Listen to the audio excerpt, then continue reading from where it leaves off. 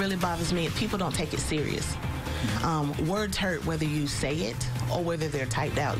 Cyber learning turns to cyber horror for a local family.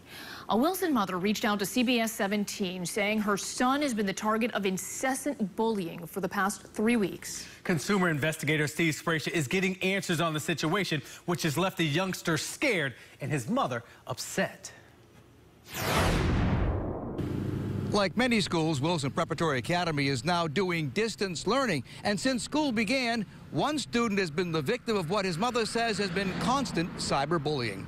This is just one example of the harassment that Jalen White's undergoing. Somebody changed the sixth grader's screen name to Loser, but it's much more than that. Once he started logging into Zoom for his classes, um, we started to receive messages. Messages like, I will find and kill Jalen. But the messages weren't just sent to him. Obscene messages also were sent to teachers. The emails all came from Jalen's email account, which had been hacked. White changed her work schedule so she could sit beside her son during his school day and intercepted some of the hacking. She told teachers it wasn't him, while the cyberbully continued to threaten Jalen. Despite being sent screen captures of the intrusions, the school thought it was Jalen till his mother physically brought him to the school and logged logged on to Zoom in front of administrators. 20 minutes after being in there, stuff start happening again. Emails start being sent. They close them out of Zoom, all types of stuff. The cyber bully obscenely taunted Jalen, claiming that he'd hacked school cameras and monitored their conversations about going to the police.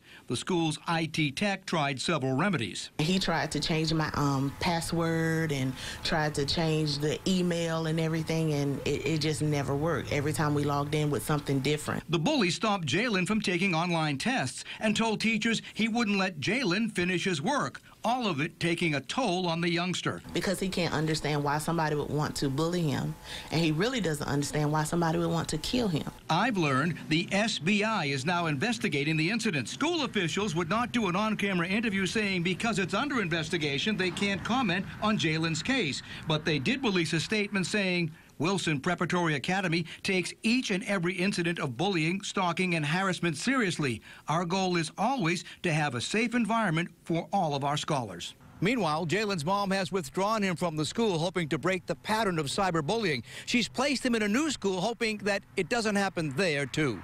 Working for you, I'm consumer investigator Steve Sbraccia.